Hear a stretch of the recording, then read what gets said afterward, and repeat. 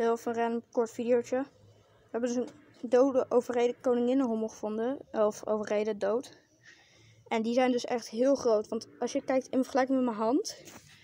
Ik weet niet hoe groot de normale hommels zijn, maar echt twee keer zo klein als dit. Ja.